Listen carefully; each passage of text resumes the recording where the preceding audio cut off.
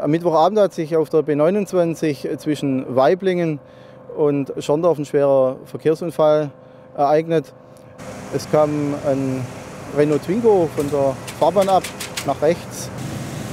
Das Fahrzeug hat vermutlich noch ein anderes Fahrzeug überholt und kam dann aus bislang ungeklärter Ursache nach rechts von der Fahrbahn ab und prallte dort gegen einen Baum. Der 21-jährige Fahrer und seine 21-jährige Mitfahrerin wurden im Fahrzeug eingeklemmt. Die Feuerwehr Weinstadt ist heute am Abend um 20.04 Uhr zu einem Verkehrsunfall auf der B29 in Fahrtrichtung Schondorf alarmiert worden. Dort vor Ort stellte sich die Lage wie folgt dar.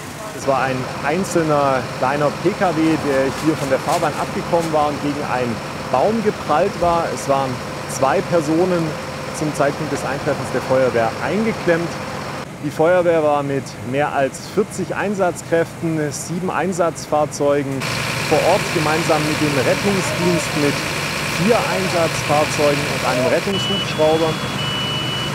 Die Feuerwehr Weinstadt hat dann mittels hydraulischer Rettungsgeräte die Rettung der beiden verunfallten Personen eingeleitet.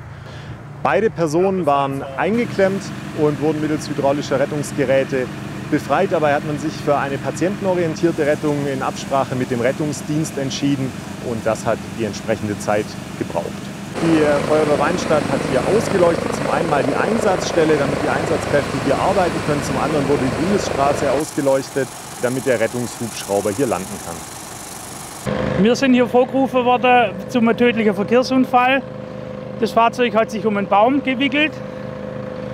Wir haben das Fahrzeug mit der Seilwinde vom Baum weggezogen, den Motor vom Fahrzeug getrennt und entsprechend dann aufgeladen.